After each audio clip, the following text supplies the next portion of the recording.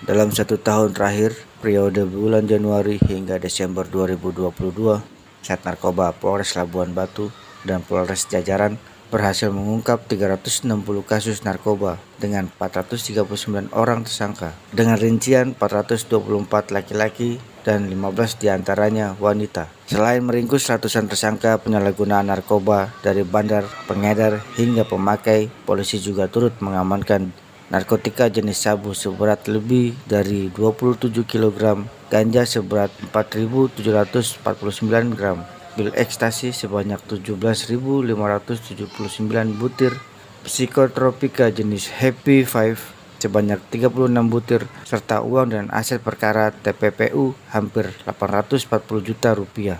Kapolres Labuan Batu AKBP Anhar menyebutkan pihaknya berhasil mengungkap ratusan kasus peredaran narkoba berkat dukungan dari elemen masyarakat. Dirinya pun mengajak seluruh masyarakat untuk bersama menekan peredaran narkoba dengan memberikan informasi kepada pihaknya agar generasi muda dapat terhindar dari bahaya narkoba.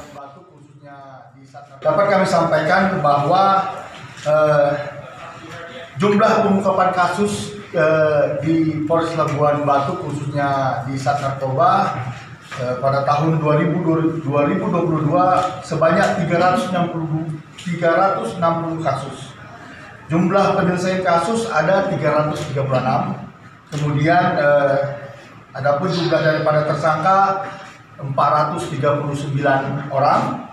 Kemudian eh, laki-laki eh, ada 424 dan perempuan ada 15 eh, penyitaan barang bukti sebanyak 27.375,57 gram. Kemudian itu untuk sabu, kemudian untuk ganja seberat 4.749,66 gram, kemudian narkotika jenis pil ekstasi sebanyak 17.579 setengah butir Kemudian uh, psikotropika jenis Happy Five ada 36 butir.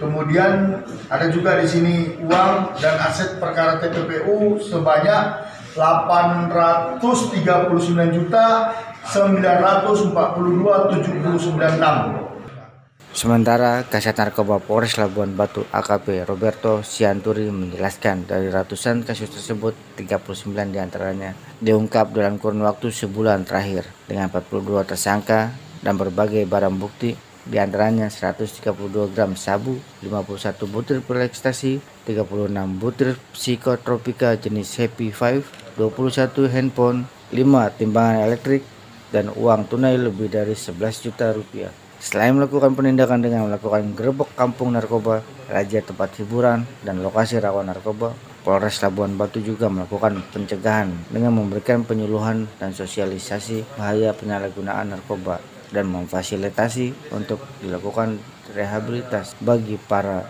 korban atau pecandu narkoba. Ada kita ungkap kasus sekitar 30 39 kasus yang terkait itu masalah narkoba. Yang di mana narkoba tersebut banyaknya dumas dari masyarakat. Itu sudah kita dengan hasil yang disampaikan oleh Bapak kita Kapolres tadi adanya informasi dari masyarakat. Jadi demikian rekan-rekan. Jadi yang untuk Desember ini kita ada kasus itu ada 39 laki-laki eh, tersangkanya ada 42 dan lokasinya itu ada di, di jalan Agamali air Kenopan yang yang di kampung pajak ini. Kampung pajak ini banyak kali dumasnya di situ. Tapi itu pun minta bantuan sama masyarakat. Bagaimana kita bisa mengungkap kasus narkoba tersebut. Dari Labuan Sumatera Utara Samuel Tampu Bolon melaporkan